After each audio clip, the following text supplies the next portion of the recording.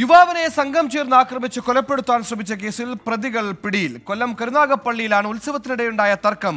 തെരുവിലേക്ക് നീങ്ങി കൊലപാതക ശ്രമത്തിലെത്തിയത്.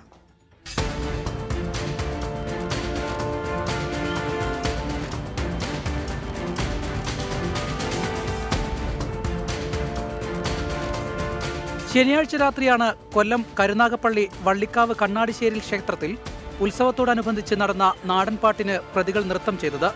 നൃത്തം ചെയ്യുന്നതിനിടെ ദേഹത്ത് തട്ടിയതോടെയാണ് പ്രശ്നങ്ങളുടെ തുടക്കം. ചേരിതിരിഞ്ഞുള്ള സംഘർഷത്തിൽ വിഷ്ണുവിന് പരുക്കേറ്റു. തുടർന്ന് ഇയാളെ സമീപത്തുള്ള ആശുപത്രിയിൽ സുഹൃത്തുക്കൾ എത്തിച്ചു. ഇതിനിടയിൽ ബൈക്കിലെത്തിയ പ്രതികളിലൊരാളായ അനന്തു കയ്യിൽ കരുതിയിരുന്ന കത്തി ഉപയോഗിച്ച് അഖിലെന്ന യുവാവിനെ കുത്തുകയായിരുന്നു. നിരത്തുവീണ അഖിലിനെ അനന്തു നെഞ്ചിലും കാലുകളിലുമായി തുടരെ കുത്തി പരുക്കേൽപ്പിച്ചു. അനന്തുവിന് ഒപ്പമുണ്ടായിരുന്ന മറ്റു പ്രതികൾ അഖിലിന്റെ കൂടെയുള്ളവരെ വീട്ടിൽ കയറി വെട്ടിക്കൊലപ്പെടുത്തുമെന്ന് ഭീഷണിപ്പെടുത്തുകയും ചെയ്തു.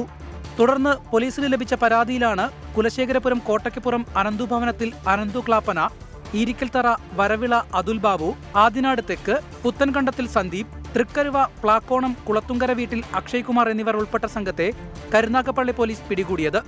സംഘം ചേർന്നുള്ള ആക്രമണത്തിൽ അഖിൽ അതീവ ഗുരുതരാവസ്ഥയിൽ തുടരുകയാണ്. കരുനാഗപ്പള്ളി പോലീസ് ഇൻസ്പെക്ടർ ബിജുവിന്റെ നേതൃത്വത്തിൽ എസ് ഐമാരായ Shihas Shameer ഷാജിമോനെസ് C P O Hashim Rajeev എന്നിവരടങ്ങിയ പോലീസ് സംഘമാണ് പ്രതികളെ പിടികൂടിയത്. കേസിൽ പിടിയിലായ എല്ലാവരും ഇരുപത്തിയഞ്ച് വയസ്സിൽ താഴെയുള്ളവരാണ്. ട്വന്റി കൊല്ലം.